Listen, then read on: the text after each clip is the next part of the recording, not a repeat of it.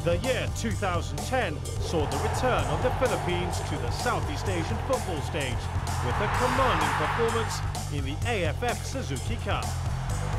The Azkals stayed unbeaten in the group stage and caused the tournament's biggest upset, defeating defending champions Vietnam 2-0 before eventually bowing out to finalists Indonesia in the semi-finals.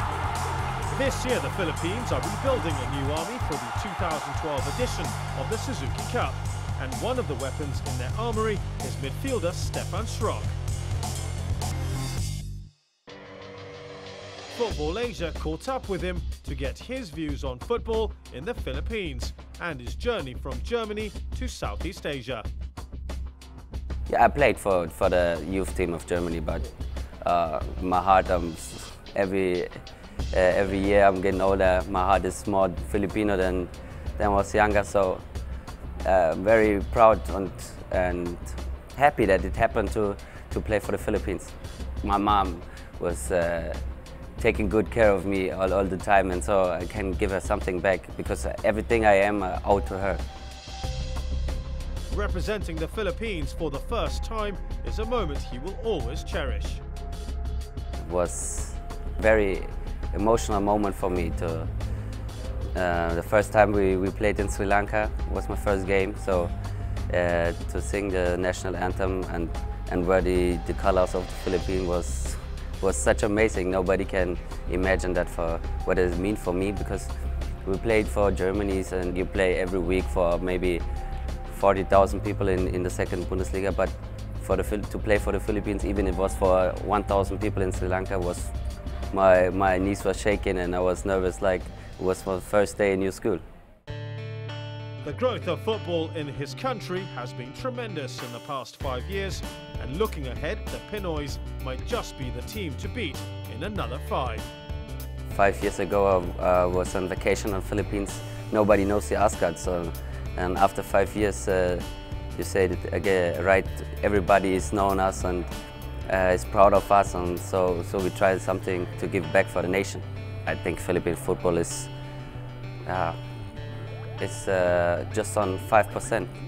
Uh, if you see how much quality and how much uh, young talents there live in the Philippines, if the conditions were good for the, for the Filipinos, I think in maybe five, six years we, we can face Japan or, or the South Korean.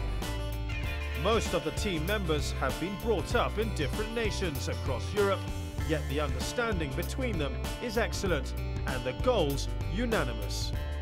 We try to, to make fun with our hands, we do hand signs and stuff like that, but uh, normally everybody speaks uh, English a little bit like Angel. so we are very, very close together, so you don't need to, to use words.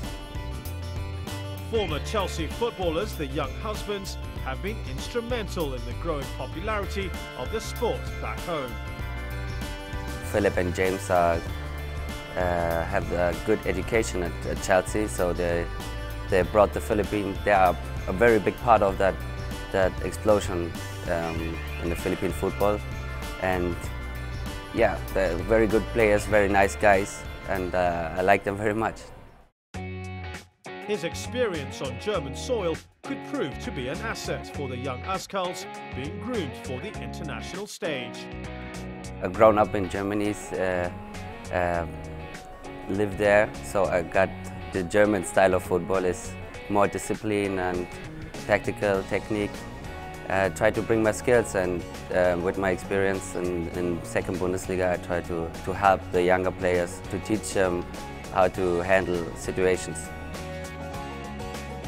The team for the AFF Suzuki Cup might not be as complete as the fans would like it to be. But if the last six months are anything to go by, then Team Philippines will have the title in clear sight.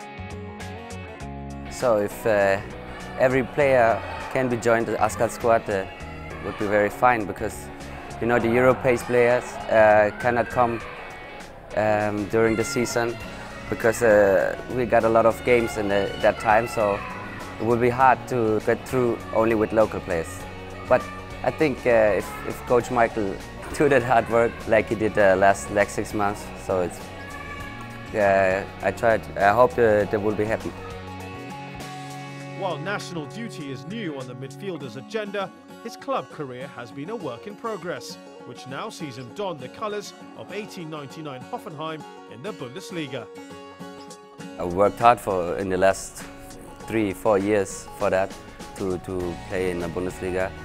Uh, tried with my old team to promote it, and this year it happened, and so I'm very proud uh, for signing a contract for, for this big club, and I hope yeah, I can bring my, my skills and develop me for, for the next level.